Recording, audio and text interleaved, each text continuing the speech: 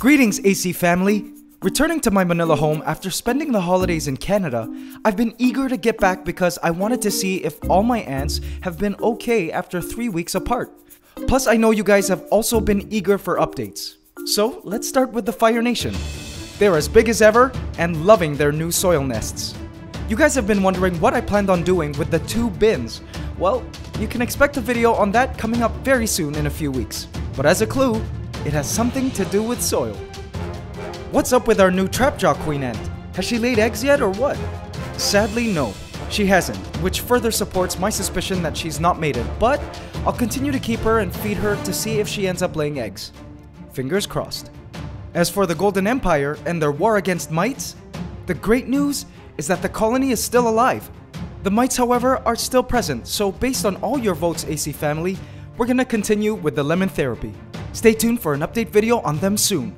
Which leaves us with the Dark Knights. Returning home, I was shocked to see how much they'd grown over the holidays. They were just packed in their formicariums and all I could see was black. It was perfect because I had just the thing planned for the Dark Knights, and it is hidden right behind this grand curtain. We're about to see what it is, AC fam, and trust me, it's pretty outrageous. So keep watching until the end. Welcome everyone to another episode of the Ants Canada Ant Channel. Please subscribe to my channel and hit the bell icon. Welcome to the AC family. Enjoy the video.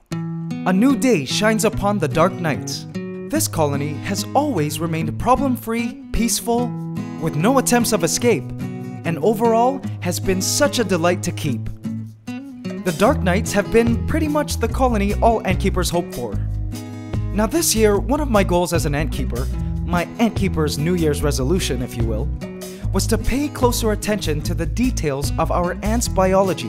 And by that I mean, I wanted to make sure my setups and care for each of my ant colonies were more customized to their particular species' natural behaviors. Kind of like how I discovered in some previous videos, for instance, that controlled flooding and some dirt to dig were both beneficial provisions for the Fire Nation. So, one of the things I felt that I could change for the Dark Knights setup to overall improve their quality of life as Black Crazy Ants was distance. You see, black crazy ants are known for travel. These ants are a nomadic species and opportunists when it comes to setting up their home base. They seek out dark, damp cavities in whatever they can find in which to set up their nests. They can set up nests under rocks, in nooks of driftwood, inside a crack in a wall within a home, or even inside drains in bathrooms. A black crazy ant favorite. They can literally live in a place for a day or a few hours before deciding to move on to another place. They can move in and out in a flash. So I felt it was time to give the Black Knights some distance in their setup by offering them an expansion to their kingdom. And lo and behold, behind this grand curtain is the portal to this whole new wondrous and epic kingdom. AC family, let me give you a guided tour of the Dark Knight's new territories. Let's check it out. Into the portal, we're taking up what I call the Dragon Stairway where to the right is the lair of a great and majestic dragon with spikes. This dragon is sleeping now, but no worries. Even if awake, it's a friendly dragon and even eats the same food as the Dark Knights. At the top of the dragon stairway, we cross over the AC Plateau, which will be the highest point in the Dark Knight's kingdom. AC because, well, it's an air conditioning unit. From the AC Plateau, we move across the scary DK Bridge, which towers high above the ground. The DK Bridge also crosses over a dormant waterfall, which, legend has it, will revive in times of great heat. The DK Bridge leads us straight into the Cavern of Darkness, a tunnel which runs straight through solid rock. Well, drywall. Emerging from the Cavern of Darkness, one tiptoes across a footbridge and moves straight across the wooden cliffs. From the wooden cliffs, you have no choice but to plunge down a 90 degree tunnel called the Knight's Drop. At the base of the Knight's Drop, we move across an intimidating rock escarpment called Silver Rock Canyon, named after the giant silver rock enshrined at the center of its cliffs. The cliffs tower high over an unexplored abyss, a dimension otherwise known as my kitchen. Here in this abyss, one finds oceans of the most unbelievable aquatic creatures, creatures of various shapes and colors, creatures the Dark Knights have never seen before. Creatures that would relish a Dark Knight had one fell onto the water's surface. But the Dark Knights, thankfully, are safe from these aquatic creatures. Moving on, I know the Dark Knights will love their new home base location, right atop the Silver Glacier. Adorned with strange hieroglyphs from unknown worlds, attached for unknown reasons. This Silver Glacier will be the final destination of the Dark Knight's journey. So where will this tube connect to then? Right to this setup. A couple days before, I created a naturalistic setup for them in an AC Outworld using a rainforest biome kit, and also a brand new hybrid nest. To prepare this setup for the Dark Knight's triumphant arrival, I needed to add some baby powder rubbing alcohol mix to the Outworld. When this mixture dries, it's super slippery for the ants. It just keeps them in their Outworld. Some Elmer school glue to seal the glass to the hybrid nest, Fill the hydration chamber with cotton and water to provide humidity in the nest to make it a desirable nesting site. And install a freshwater test tube for the Dark Knights to drink from after a long journey. Everything was now ready. AC family, I'm so excited to introduce the Dark Knights to these new territories. How about you? This is 40 feet of travel surface and two stories, making this the largest ant farm I've ever owned. Now, if my mom were to see this back when I was still living with my family, she would have been livid. Thank goodness I'm an adult now living on my own, but if you guys are still living with your family, please do not do this without your parents' permission first. Doing this has been a dream of mine. Perhaps this may seem a bit extreme, but hey, we love ants, right? I was going to plan on letting the Dark Knights move into this huge new kingdom starting when they are the most active. Of course, at night. Now it was time to wait.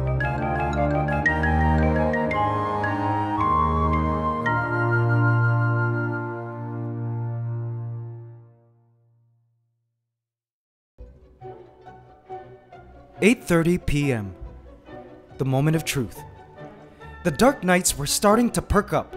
Little did they know, they had something pretty incredible waiting for them in just a few moments. The new hybrid nest and outworld were in place, connected, and awaiting the Dark Knights to move in. AC family, I have no idea if this is gonna even work, or if the ants will even walk the 40 feet to their new hybrid nest. But that's what science is for. Let's see if our little project works, shall we? Here we go! Time to release the Dark Knights upon their brand new kingdom. Tonight is the night of the Dark Knights.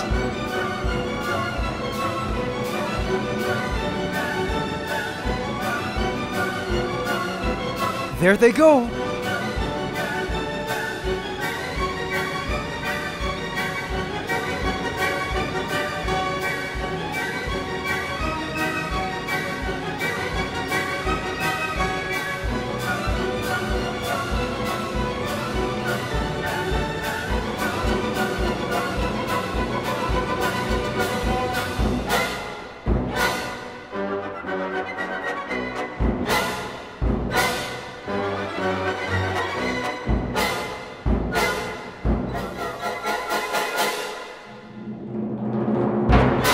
The Cavern of Darkness.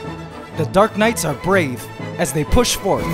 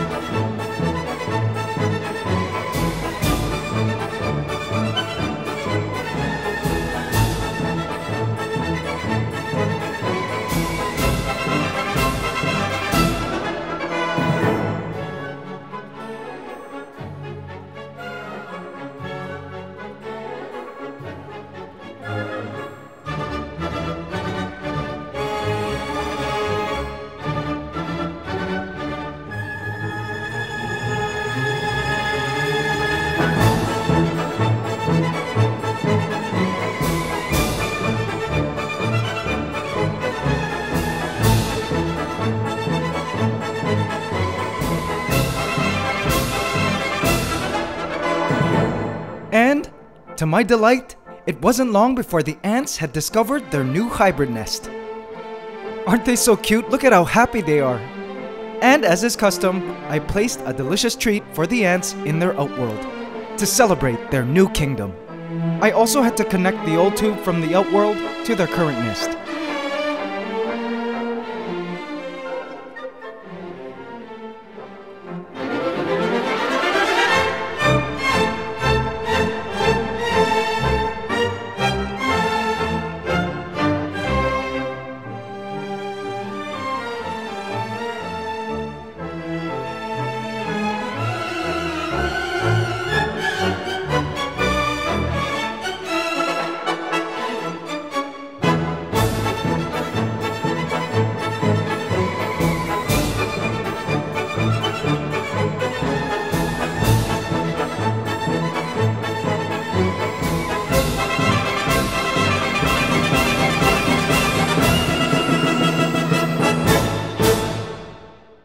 The next morning, all was peaceful and serene.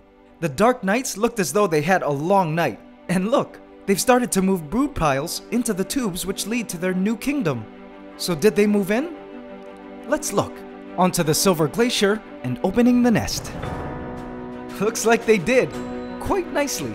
I expect within the next few days they will be transporting the brood into this new hybrid nest.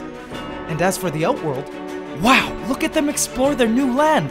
And it looks like they've found and accepted our housewarming gift. The Dark Knights have been such an amazing colony, and I am happy they now have this new path connecting their two satellite nesting sites. It's very true to how they would do it in the wild. Can you believe it? That's 40 feet these ants are traveling. Amazing, right? But I gotta ask, if you came to my place, would you mind seeing a bunch of tubes around with ants crawling through? No, right? I didn't think so.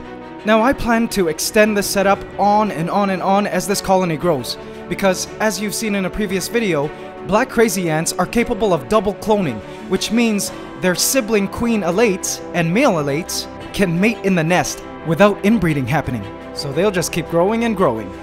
Thank you AC family so much for joining us on this epic night. We'll see you guys next week for another ant video. It's Ant Love Forever.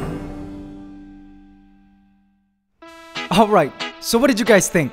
Was that cool? For those of you who would like to just watch extended play footage of the ants exploring their new territory, I have included a hidden cookie for you here in our colony, so you can enjoy the ants moving in to some relaxing music.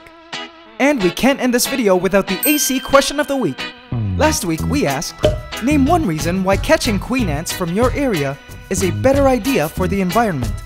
Congratulations to Gail Hart who correctly answered, If you keep an alien ant species, it can spread alien sickness to local ants. There were a variety of different answers accepted, like the keeping of native ant species avoids alien ants from becoming pests or outcompeting local ants. Congratulations, Gail Hart, you just won a free ant shirt from our shop. For this week's AC question of the week, we ask Name one of the landmarks along the path to the Dark Knight's new hybrid nest and outworld. Leave your answer in the comments section and you could win a free ebook handbook from our shop. Perfect to get right before nuptial flight season starts in just a few more weeks in the Northern Hemisphere. Hope you guys can subscribe to this channel if you like this video and give it a thumbs up. We upload a brand new mind-stimulating ant video every Saturday at 8 a.m. Eastern Standard Time. See you guys next week!